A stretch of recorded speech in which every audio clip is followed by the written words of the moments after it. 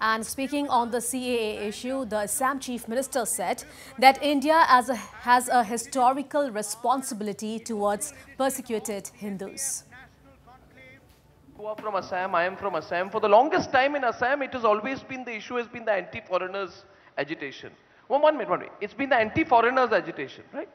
But when your government says bring in the CA, right? When, when, when your government says bring in the CA, change the legislation, you are saying that Hindus from Bangladesh should come, but they are also foreigners.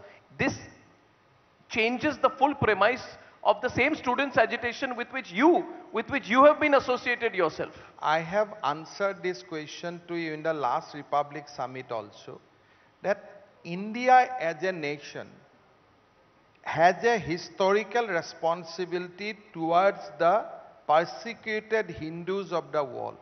Hindu doesn't have any address except India. So the problem in Assam we can resolve that whether Assam has a great share of the burden that we can resolve in the country. But as a Indian, no one can deny the rights of persecuted Hindu to come back to their own motherland. That you cannot deny. But this line you have taken for the last two or three years.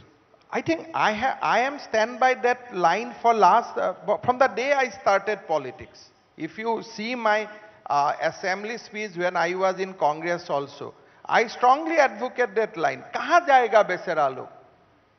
Can, can Hindu go to Arab?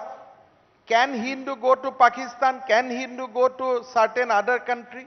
Hindus has to come here. All media has to work with government in that, that on those cases.